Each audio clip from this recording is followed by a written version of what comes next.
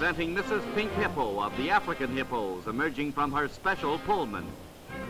Like all other gentlemen, Old Man Hippo has allowed the lady of the family to go first. That is, she did come out, but seems to have disappeared. The first grand splash they've had since the hippos left the River Nile. Where is little Palsy Wellesley? Ah, imitating a flying fish or a man-eating tiger. California, their new abode, is a strange land, and they're wild, wild to get back home.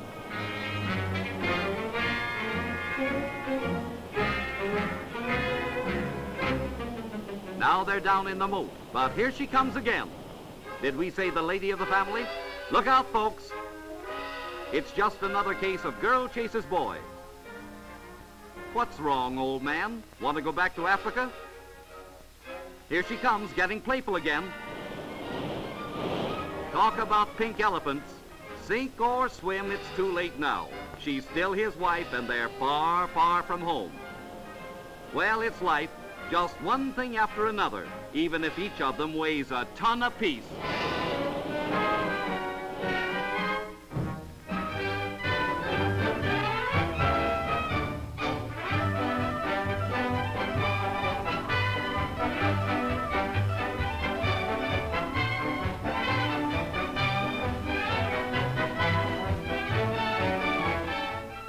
July 1940, the mightiest units of the French battle fleet lie at anchor in the peaceful harbor at Oran, Algeria.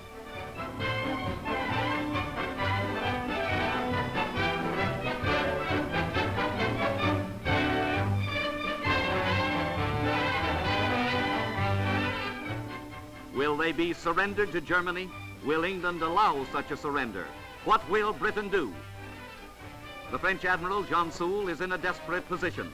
French crews are tense as a launch from the British battleship Hood is sighted bearing into the harbor. It brings an officer of the Royal Navy who delivers an ultimatum, join us and sail to the West Indies or be destroyed. It is a tragic necessity. Britain must maintain her supremacy on the high seas. Admiral Jean rejects the ultimatum. A blinker flashes his reply, we'll fight. French seamen are called to battle stations by the wail of sirens.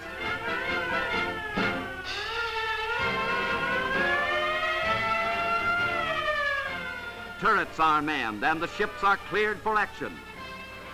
The crews rush to position. They will defend themselves if fired upon.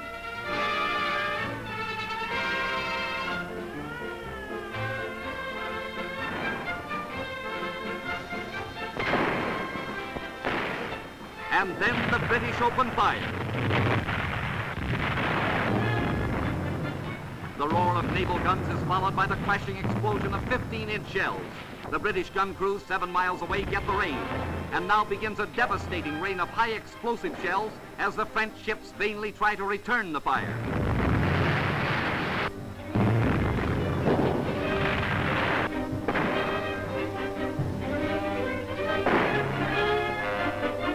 Bretagne is hit. Her powder magazine goes up in a roaring column of flame and smoke. The great 25,000-ton dreadnought Strasbourg escapes to Toulon, her guns still firing. The Dunkirk is sinking. Death and destruction make a shambles of the once powerful fleet.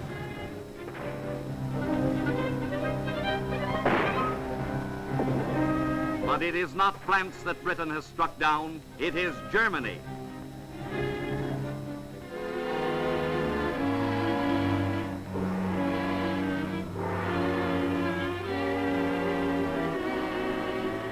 As Winston Churchill sorrowfully proclaimed, it was a melancholy episode forced upon the British Empire. The shores of the harbor are strewn with beached and crippled ships.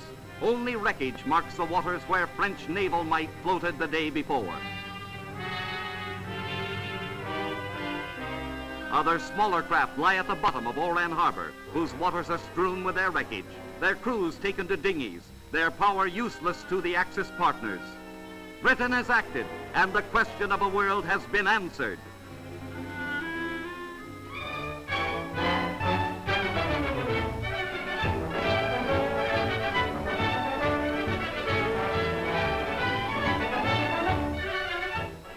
High above the Tacoma Narrows, human spiders risked their lives on the job of building one of the world's great suspension bridges. Weaving giant cables from which will hang an automobile highway spanning a chasm broad and deep.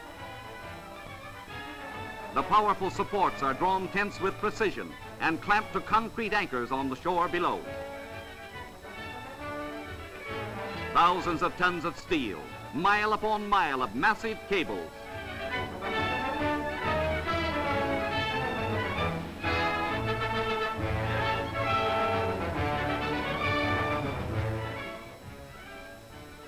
Four hundred feet above the water, here is a job demanding men of iron and nerves of steel. And then on a summer's day in 1940, proud citizens of the state of Washington gather for the ceremony of opening their new $6 million suspension bridge to traffic. The world's third longest span and the last word in engineering marvels. But the last word had not been said. The summer wind that gently blew along the Tacoma Narrows whispered a word of warning that no man heeded.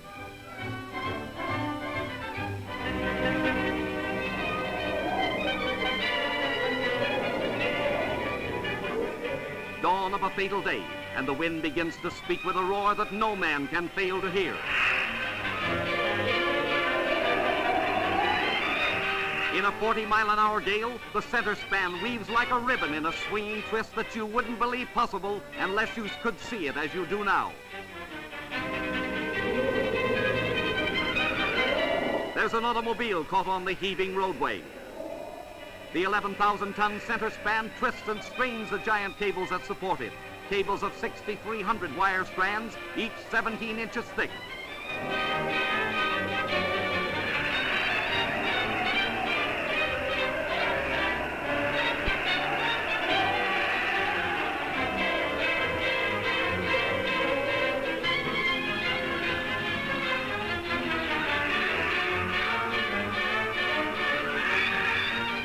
Back out of the danger zone, all stricken spectators are driven to safety as the bridge gyrates like a nightmare high above the river, twisting, turning, curling.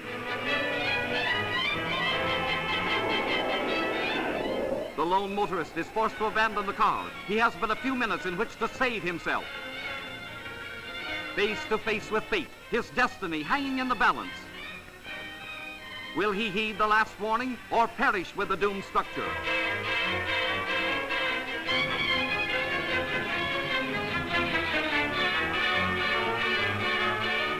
But he saves himself by seconds.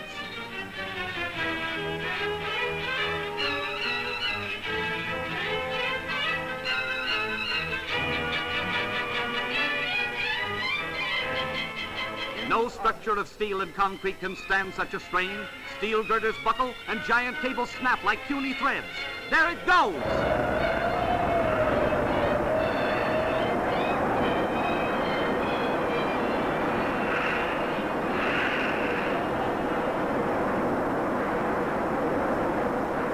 Engineers are divided as to the cause of the disaster. Some claim it was the use of solid girders. Others differ. But whatever the reason, Tacoma will rebuild. This time a bridge that will not provide a super thrill in the news.